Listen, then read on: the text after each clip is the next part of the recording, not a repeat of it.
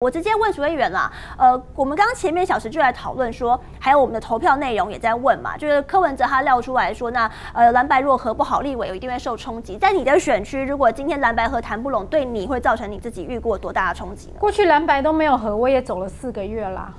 对不对？我觉得选举是这样，我们希望更多加分的力量，可是我们不能说我少了哪一个我就会落选啊，那样代表说候选人自己不要靠别人，对候选人自己不及格，所以我一直在说嘛。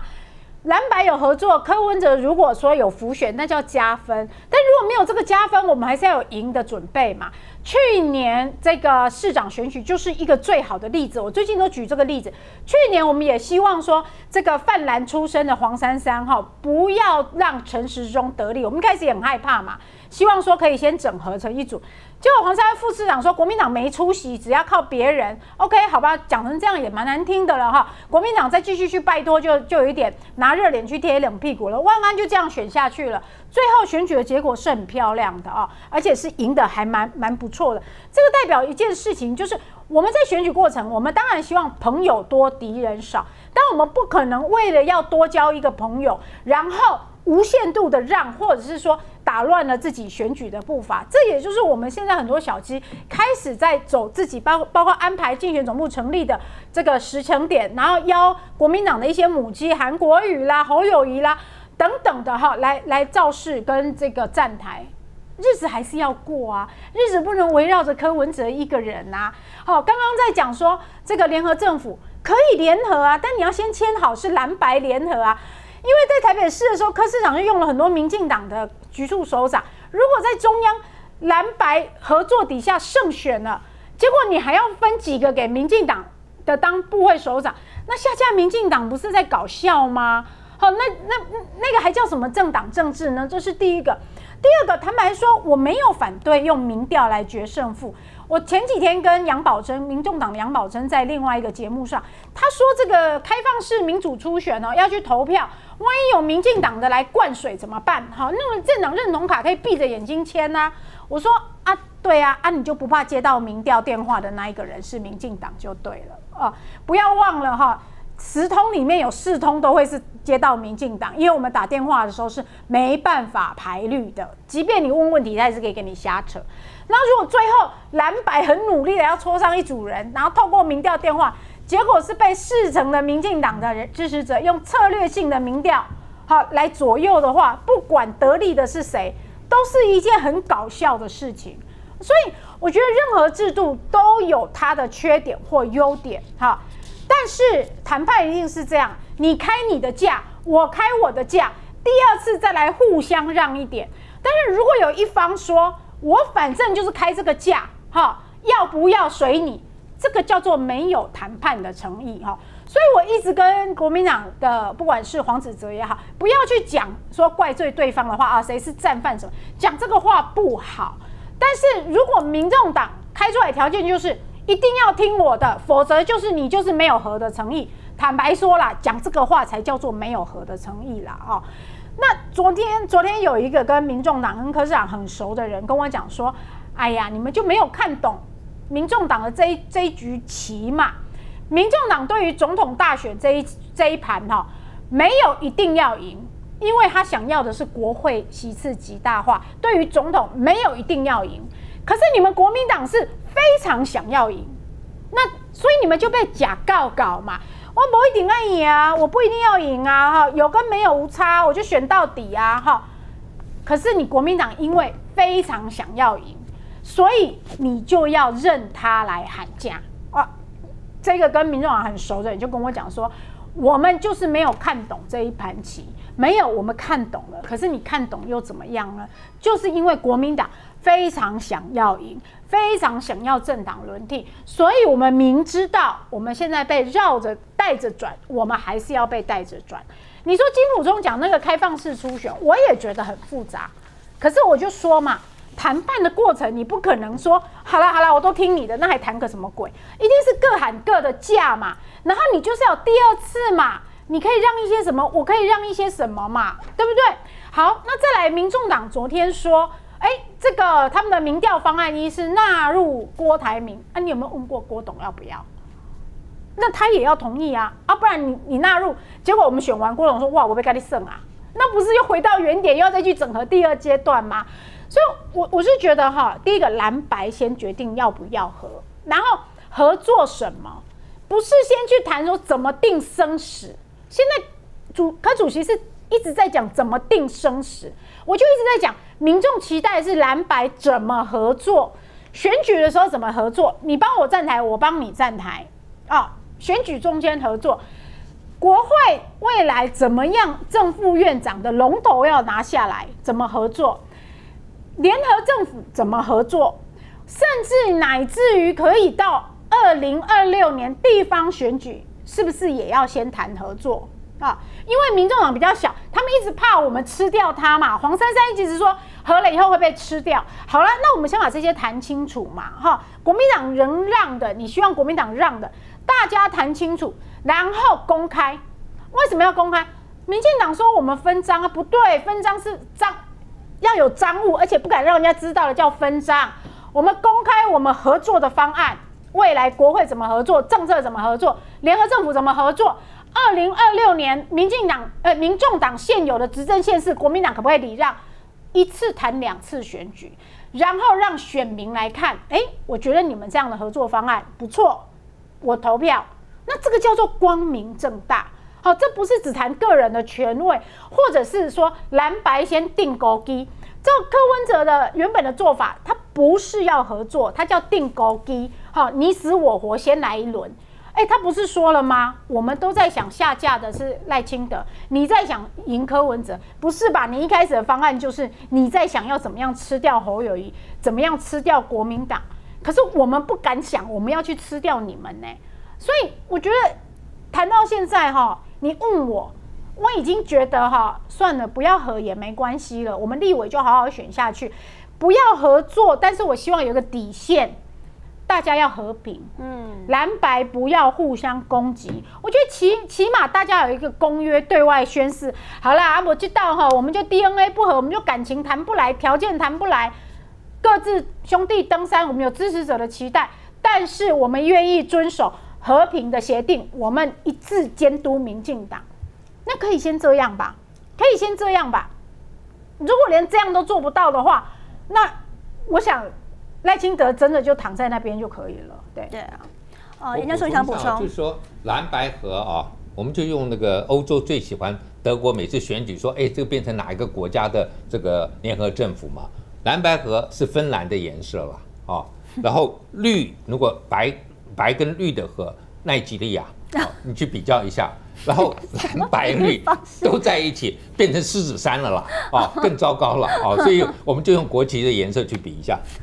感谢严教授用他独到的观点来帮我们去自己想象一下。啊，感谢一些网友的抖内 C Y Y C 抖内说支持侯友谊，支持韩总走自己的路，赞成赎会的观点，靠自己才是康庄大道。感谢达冰雪抖内，他说为什么要对中天转成了民众之声特别有感？因为上一趴一直有很多人在举柯文哲的话，柯文哲的话有这么重要吗？另外他也讲这。个呃，科批在台北执政就没有政绩。如果科批真的这么好，去年就是黄珊珊赢了，更别忘了科批连任就靠作弊赢了几千票。感谢 Love 韩韩炎炎的斗内，他说支持侯韩配，赶快冲，别浪费时间搞蓝白合了。感谢胖番薯的斗内说不讨厌科批，是因为疫情时间他打绿打最凶，快筛阳及确诊，痛批高端疫苗，每天疫情记者会做出了快又正确的决定。那如果韩市长一定也是痛打绿，那反观我们的侯呢？感谢这个是 Jack JK 的斗内说。开放式民主初选不是优点缺点的问题，是根本不可行。没时间、没钱、没经验。大家都知道，美国的初选是州政府办的而已，而且要跑一年以上。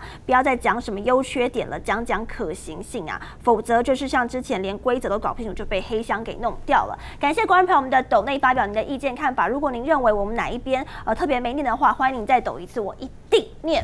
来，我们请汉庭议员帮我们来讲讲这个昨天出来的近新闻。我觉得他昨天出的这份民调，其实蛮宽的哦，不同方向。不过，我想先请你帮我讲的是区域立委跟不分区立委政党票的这一块哦，几乎是同登同分，蓝绿五五波都是一样的结果。先看会影响不分区立委上几席的政党票部分投给哪一个党？呃，民进党二九点七，呃，国民党二九点三，而民进党的地方已经是跌破三成，而且是比上一次做调查是少了一点六个百分点，蓝营小跌了零点五个百分点，而民众党的部分在这边百分之十六点六。那讲到如果是区域立委的话，明天就是投票日，居然做出了一模一样的结果，都是二十七点七，而民众党百分之十点七，那等于呢已经全部都回到原点。本来很多人认为说这一次有没有可能这个绿营的政党票可以再压低一些，可是我看到的结果，呃，领先了，当然是有掉下来，不过还是差不多啊，伯仲之间。这应该是已经压低的状况，因为。即便在这这一就是呃，近新闻他之前所做出来，赖清德的支持都是超过三成嘛，这好歹有三十二趴、三十五趴，所以赖清德的支持度有三十五趴，但为什么愿意政党票投给民进党的竟然不到三十趴呢？那多的那几趴是怎么样呢？那就表示说他不喜欢民进党这个政党。所以就此来看的话，就是赖清德给民进党是加分的。就我总统投赖清德，但我的立委、我的区域立委或者是我的不分区的政党票，我要投给其他的。他可能投给，但你如果去算一下，你说他可能投给激进党吗？或者是时代力量吗？但加一加也没有加到赖清德的支持度啊。所以那到底这一些总统投赖清德，但政党票他投给谁的，跑去哪里了？他可可能是未表态吗？或者是投到台湾民众党？这个不知道，暂时保一个大疑问。但同样的来看，你说，呃，国民党侯友谊目前的民调啊，基本呢应该没有超过二十五 percent。就如果依照他们自己的民调，所以国民党侯友谊没超过二十五，可是他的区域跟不分区都超过二十五，这表示什么？表示国民党目前是大于侯友谊，或者说小鸡是大于侯友谊的。这反而才是侯友谊市长要去加油的地方，因为你自己的支持者对。投你立委的结果呢？没有投给你的总统，那当然是总统候选要加油啊。对民进党来说，表示什么是民进党的立委候选人要加油哦，对不对？可是呢，对于国民党来说，是总统候选人要加油。那当然，如果我们从民众党这边来看，也是一样嘛。那可是呢，因为民众党不准，为什么？因为民众党本来就没有提很多区域立委啊，所以你问说区域立委当中，哎，你会投给哪一个？为什么？呃，柯文哲好歹也有二十趴，那为什么只有十趴要支持他？因为民众党没有投区域嘛。那在不分区当中啊，我觉得这个就比较有意思，就是说柯文哲好歹也有个两成支持度，那为什么在不分区当中他只有十六 percent 呢？那是那其他的那些可能什么？就表示说这一些他可能是投给国民党，对吧？所以当中就能够看到出差异，就有一些政党票盖国民党的人，但他的总统票是投给柯文哲的，就分裂投票的现象确实存在。那这也表现出来了哈，目前呢，柯文哲还仍然有一部分所谓蓝营的支持者的选票。那么这些蓝营的支持者选票，你就说，你看他这个过去支持国民党，他们是不是叛党了？他没叛党，他在政党票当中是支持国民党啊。所以我认为这份民调能够展现出来比较特别的意义，在于说我们要去比较总统跟这个政党票之间一些支持的差距，从而才能够给你身为立委，然后以及呢，如果你是政党名单的话的一些状况。那不过呢，这到目前为止啊，这个都只是很初步的分析或是印象分，因为最终还是大家稍微关心一下，那名单上提出来的是谁，而且名单可能也会成为新一波攻击的对象。那提得好或者是提得坏，都还有很多操作的空间。所以如果说，呃，这个只要提的人有问题啦，那当然也看对方有没有攻击。如果民进党比如说提名了一些有前科的啦，然后呢这个官说的啦、贪污舞弊的啦。那我们在野党要攻击啊，那如果不攻击的话，就被人家哎稀里糊涂的又过去啦，对不对？那不客气的说，二零二零年民进党搞一个全民下架吴思怀，那当时呢我们就发起啊，我就说那我们可以全民下架柯建明，因为柯建明就是标准的官说司法的官说老二，对吧？哎。可是呢，这我就跟国民党的群的朋友群组里面说，哎，我们也可以来搞一个同样啊。当时赎会有响应啊，很开心。罗志强跟这个也有响应，哎，结果其他人呢就把这个东西拿去乱改，然后就开始讲说，哎，我主张就是去去讲一些别人的。你看，可惜这个炮火就没有集中。所以当然了，就未来如果有出来的话，那一样就是针对名单上面的人都还要再进行攻击跟进行争编争编。那也希望各政党都能够提出很好的人。那当然也欢迎呢，也能够如果新党提出好的人选，也欢迎政党票能够。投给新党。啊，感谢我们的网友放胖番薯的抖内，他说建议汉庭，很多人质疑你跟张思刚没有民调，你就当蓝白河的范例吧，先举办两人辩论或证监会，再协调要民调或初选等其他方式，不然当地选民很难抉择。欢迎啊，我都我都可以啊，就我都可以，我都欢迎，但是欢迎要来谈，然后不要只是媒体放话或者是假消息。嗯。严教授，同一份民调有一个我觉得蛮吊诡的，我我觉得这个整个民调看起来怎么都是一直呈现五五坡的情况，连这样的问题也是哦。国造的浅见疑似泄密的相关新闻频传，你认为这件事对哪一位总统候选人的选情负面影响最大？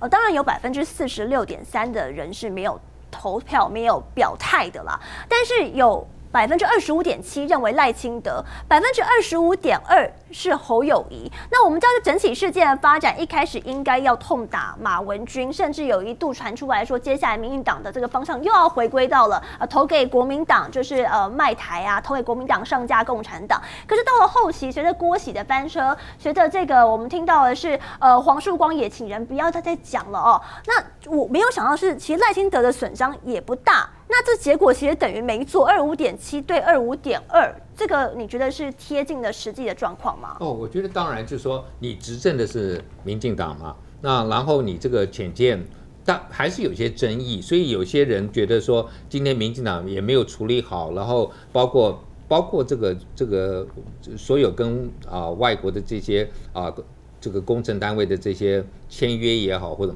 都有些大家都会有很多的疑问。所以这个今天出来了，呃，有些人会认为，那你民进党整个在造舰的过程过啊，浅建国造的过程当中，是有很多比较见不得人的地方。但是另外这个角度，因为一开头打的是马文君，打的是说，哎，怎么搞？好像啊，跟跟这个就是卖台有关系。那当然国民党就要承受嘛。你看为什么但还没有人就说说是柯文哲有关系？因为他两边都不是嘛。哦，所以柯文哲这个受到这个冲击是最小的，然后很多人真的是搞不清楚状况，所以我觉得接近一半的人没有什么意见，这个大概符合台湾现在的政治生态，就是很多事情都是讲不清，就好像现在以哈马斯啊跟以色列之间的冲突啊各说各话，也有很多事情，我觉得我们也是会讲不清。那如果说你今天有了一个既定的立场，很可能就会现，到时候发现结果跟你想象不一样，你就会有很大的这个落差。所以这个当就是一个很多人没有办法厘清的时候，那就有一半没有表态哦，然后剩下的各一半，蓝绿各打五十大板。嗯，哦，那我们这个来看看阿阿凤这个网友的抖内，他说石辉议员说的好，希望国民党也能够有志气一点，不要一直送脸给柯文哲还有民众党打哦。感谢我们观众朋友们的抖内，在我们等下要准备进段广告。但广告回来就来看看，就是不论怎么样，五五分五五分，其实对于赖清德来说，我们刚前面就已经讲他是如何的去解读说蓝白要合的话，他是有种说风凉话。我其实刚刚也还没有补充特别一句，就是许立明在民党他们自己的内部，他们也在讲嘛，他们就说呢，哦，看起来呢，这个双方啊蓝白谈的有点僵啊，但我们民进党会谨慎看待。那但是昨天赖清德也特别去在浮选的时候，他就喊出来了，说哇，让尤锡坤水牛再战立位，再再战这个国会，然后再领导国会。大家想说，天哪，水牛不会想要这样吗？当然，赖清德喊出这一席话是有道理的，就是因为我们还特别帮你整理出来了，因为派系要平衡，因为派系一个都不能少，通通都还是得归队。民进党也不是都没有自己的问题要解决，那他是什么派系呢？就是正国会嘛，由习坤为首哦。那但是其他的，像之前的大阿哥林佳龙，因为他现在被困在总统府，一样也被困住的，还有是被困在我们行政院内政部的林佑昌。那除此之外呢，陈欧珀。因为 IMB 的事件，所以这一次他立委是不能选的。蔡世英也一样哦，之前有论文的争议，然后呢，他后来自己也宣布将不会参战连任他的立委的这个之路。所以我们看起来是赖清德喊出了让尤锡坤在领导国会，不知道身为真的不希望国会在一党独大，尤其呃尤锡坤还要继续做下去的选民会听完怎么想？我们今天也有讲到说关于这个呃，刚刚这个所议员刀掉下来。你再这样子吼，你就不往别人会一直讲你是什么，对不对？挺科派，还好是在讲关羽的刀。来，徐议员，刚刚那广告其实刚好就有提到，就是说呢，这个周瑜修的事情嘛，党籍问题。我们今天也在讨论，原来是可以有双重党籍同时存在。当然，他也去思考说他要不要加入民众党。但我们就翻开说，之前原来有一些是可以有双重党籍一次挂在身上的。好，无论如何，这是民进党的做法。赖清德去抛出了橄榄枝给郑国会，同时也展现他的霸气态度。因为呢，他在帮这个新北永和的立委参选人庄明渊去站台的时候，哎，板起脸孔，这才让我可以体会到这一一落差，就知道了。正没给你的，你不能要，你硬要，你就等着看我绷起脸吧。这个选区大家也还记得，原本是要给李正浩的，可李正浩因为自己的问题，所以翻船了，后来变成在地的里长庄明渊参战。昨天呢，庄明渊就讲说，党中央提名之后，很多人说我很勇敢，但我很害怕。现在赖清德来永和，呃，这里是赖清德在永和的家，赖清德就是我的靠山。讲完了，赖清德不高兴，哎，他直接在当场就给你啪啪两下，他说我不是你的靠山，相亲才是你的靠山。竟然接了军令状，一定要全力以赴选的漂亮，不要开票时票数不好看，辜负了党中央的期待。徐慧议员，我先讲一下，因为我刚刚才看到周瑜修的这个新闻，我有一点吓到哦。党籍其实是很严肃的事情啊。我们有很多民民众党的支持者、国民党的支持者、民进党的支持者，他们是支持者，但他们不一定会入党有党籍。通常是你可能要从事这个参选啊、公职啊，或是你对党职啊，你对这个党的认同度真的非常非常非常高，你才会去入党，让自己有一个这个党籍嘛。哦，那。余修在柯市府已经这么多年了，我一直以为他已经退出民进党，或者是至少民进党要要求他退党吧？好，不是汉贼不两立吗？如果今天这个民进党的人到万安市府来任职，我相信他们一定会要求他退党的。哎，结果在柯市府那边任职是可以不用退党的，甚至可以变成民进党的党员，变成柯文哲总统竞选办公室的主任。我我觉得好错，到底是民进党太大度呢，还是柯文哲太大度？我我实在是搞不清楚他们的这个关系哦。好，那也没关系。但那一天如果这样回想过来，那一天的谈判就变成一个很奇怪的状况，就是柯文哲派了两个不是民众党的代，不是没有民众党党籍的人来进行谈判。因为据我了解，黄山副长之前是亲民党的嘛，好像一直也还没有正式加入民众党。起码去年参选的时候，他是用无党籍选。那如果余修也还是民进党籍的，谈判的那一刻，他是民进党党员，代表着民众党的柯文哲来跟国民党谈判，谁死谁活，这整个让人家非常的逻辑错乱哦。所以我是今天才看到这个结果哈。当然。我我我不知道说这个这个到底大家的互信程度怎么样，或是柯市长心里面在想什么？但是如果今天两个镇长已经踏入深水区哦，真的要谈判合作的话，我觉得政治的认同，或是政策的路认同，或是国家未来的走向哦，真的是很重要的一件事情啦。哦，他之前也说了嘛，DNA 不同啊，DNA 不同没有错，但是大是大非要一样啊。两个政党的做法没有各自不一样，没有关系。大是大非，两岸关系这一些涉及台湾的发展跟安全的这一些要一样啊，否则的话，只是为了胜选而硬走在一起，到最后会不会同床异梦，甚至说翻脸无情啊？我觉得，我觉得这件事情在余修这件事情上面，让我还是觉得你可能要跟。民进党稍微切割一下，不是只跟新潮流切割，因为民进党不是只有新潮流坏，哎，只是新潮流比拿的比较多、比较狠而已。但他们各派系就是在分赃啊。好，那英系也不怎么样啊。可是你要跟英系合作吗？好，我跟新潮流切割，但我跟英系合作，我跟郑国会也不错。这样子，这样子，我我实在是没有办法去接受这样的合作。我很希望说。蓝白可以合作赢得胜选，可是如果说必须要这样模糊的，还要跟民进党沾亲带故哈，我我觉得我觉得很难呢，我们选民也很难接受哎，因为现在不是说要不要反绿的问题，而是民我们接下来的八年是要干什么？是要查这八年的弊案呢？我们接下来很重要的事情不就是要推翻这八年的弊案？哦，还中天一个公道，然后很多这个过去的八年的不公不义的事情，我们希望挖出来。那如果说未来联合政府里面还有民进党在里面啊，我们是要怎样去挖？还是说他们都可以像周瑜修一样，身上有民进党的党籍，但是人在公平正义的这一边？我觉得好奇怪，而且被发现才退党，哎，不是说之前就退党。但是要挖来，呃，说议员刚好发现一件事情，我们有一张图让大家来看看，就来挖挖看，好不好？让大家发现有没有什么不对劲的事情。是陆委会的国庆晚宴出现的国旗背板，结果呢，我们的这大家看完可能觉得奇怪，那是我们的国旗吗？呃，因为它上面的光芒有十三十三道，对，我的脸书，脸书，呃，刚刚我一个朋友传给我说，哎，你有没有觉得这个国旗怪怪的？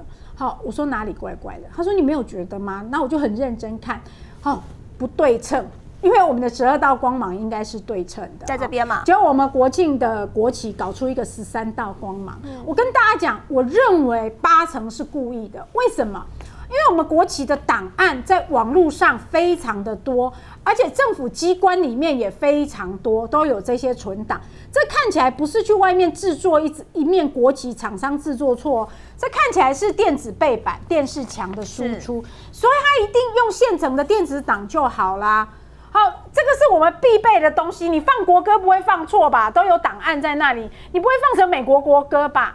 那所以他刻意怎么去搞出一个十三道光芒的？这个这不容易耶，而且还要对症的，看起来不是有一根突然长出来，这就是刻意去做的啊。那我就觉得很瞎，要么就是你不甘愿放国旗，然后放了一个国旗，还给我放一个十三道光芒，搞错的国错误的国旗，那这就是民进党的国家认同吗？那柯文哲，你觉得这十三道光芒的国旗，你站在他前面，你可以庆祝国庆吗？那这庆祝哪一国的国旗？你看我们还温馨贴贴上了原版的国旗去做对比嘛？这到底是什么？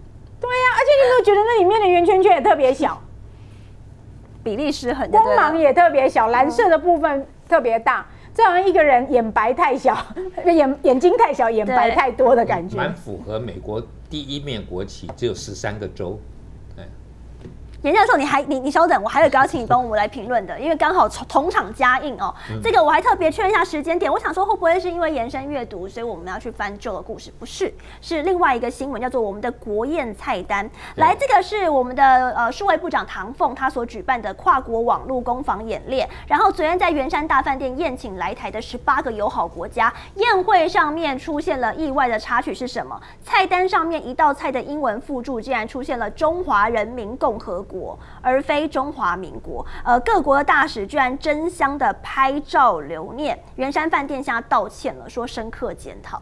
我我自己啊，在我们国关中心以前接待很多外宾啊，所以有很多这种宴会。那宴会里头也有一些会有总统副这个这个高级这政府的首长来，所以我大概所有的那个菜单我都会看过啊。就是都知道，连我的后来连一些英文的那个菜，台湾平常你都不用的，你都要知道有没有拼错字啊？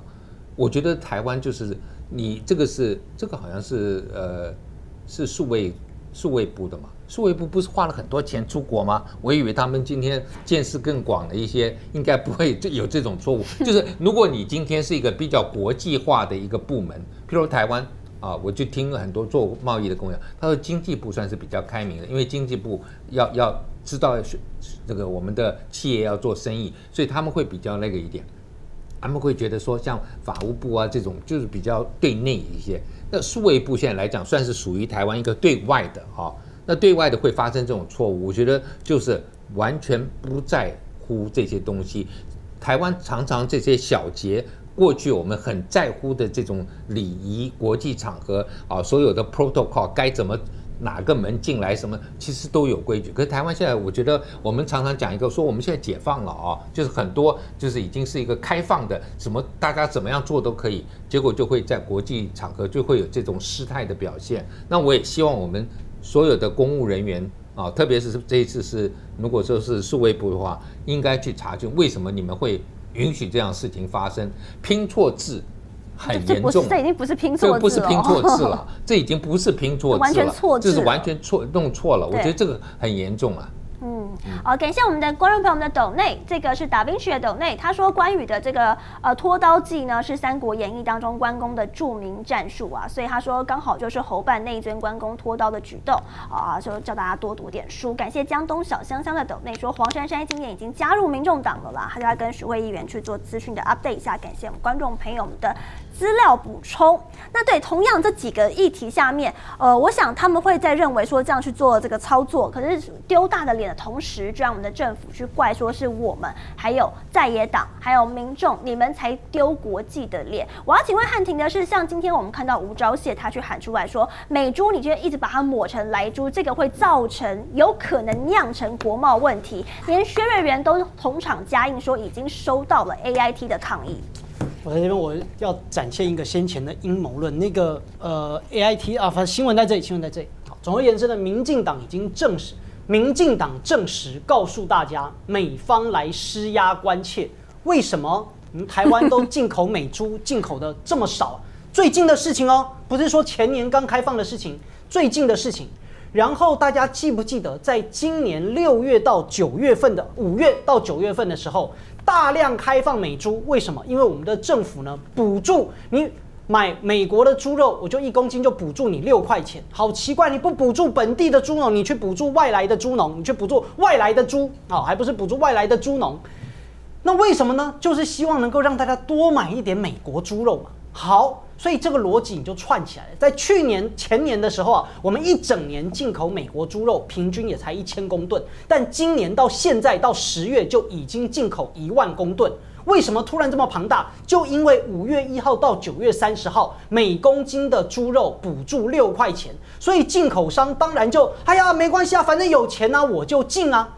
那进完了之后呢，卖不出去，因为没有人要卖嘛，所以怎么办？那当然就给你换标签，当然就给你洗产地，然后呢就变成所谓的台湾猪，变成加拿大猪，继续销下去了。所以这是你表面上已经可以看得到它的因果逻辑非常清楚。民进党受到了压力，美国人要求我们要买美国猪，可是呢台湾没有业者愿意买，所以怎么办呢？拿纳税钱补贴，一公斤贴六块钱，所以业者就愿意买。那业者买完了之后没人卖怎么办呢？那就洗产地，骗台湾人吞下去。所以罪魁祸首是谁？那就是民进党。这打从一开始拿着纳税人的钱去补贴美国猪啊，他罪魁祸首啊。然后呢，他等于带头骗大家哦，反正没关系，你就吃下去就好啦。业者有没有造假？呢反正业者的事情，民进党装作不知道啊。但你想，当民进党开了这个政策的时候，说美国猪肉一公斤补助六块钱，你觉得他会不知道美国猪肉在市场上销不出去吗？你觉得民进党不会知道吗？那你觉得决定这个政策的民进党他没有想要进美猪吗？当然不是，他就是为了要开放美猪。那为什么？因为源头是 A I T 在施压嘛。好，那么我们再看到标示不实的美猪业者，有找到一家叫做星星冷冻。这个星星冷冻呢，网络上已经有人爆料，他的老板呢叫做陈佑义。这星星冷冻除了第一波被查到，哎。标示不实，就是洗产地把美国猪肉当成所谓的台湾猪跟加拿大猪卖出去之后啊，而且还发现什么呢？他有第二波的继续洗产地，什么意思？被抓包了之后，他的下游厂商问他：“哎，你都上新闻了，那怎么办？我们要退货啊。”好，然后呢，他就讲说：“没关系，退就退啊，先退没关系。然后呢，我们换个包装继续卖，换个包装告诉你啊，这是新的。”新的猪肉了，这已经是新的台湾猪了，新的加拿大猪了，新的丹麦猪了。那个包装只是台湾的了。对，但是呢，最后内容呢还是本来的美国猪。所以一而再，再而三哦，好，就是继续在干这种洗产地的事情哦。那么这个陈佑义发现是谁呢？网络上已经爆料，哇，他跟什么蔡英文啊、郑文灿啊，通通都有合过照。你如果说只是大场面合照，不是哦，都是小型的聚会合照，而且呢，政治现金捐给民进党。你说啊，那这个好像也还好嘛，对不对？任何人都可以捐政治现金啊。但是呢，哎，他参加的这所谓的狮子会，他的这个狮子会里面呢，然后也很多都是民进党的人，然后也通通都捐钱给民进党。好，那应该可以定性，他们这一群人跟民进党关系友好。说这个绿油油应该不是个过分的标签，而且他自己在脸书上都说，哎呀，你看我跟民进党这些人关系很好。那然后呢？诶，他的这些所谓狮子会的同行很多也都是食品业者，在这一波当中呢，也都是使用到了标示不实的洗产地的美国猪肉，所以我高度怀疑，高度怀疑什么呢？民进党受到来自美方的压力，说要买美猪的时候，请问民进党要找谁买？民进党一个公告下去，哎，买一公斤补助你六块钱，你觉得进口商敢进吗？进口商进来了之后，他觉得卖不掉啊，那他为什么要进呢？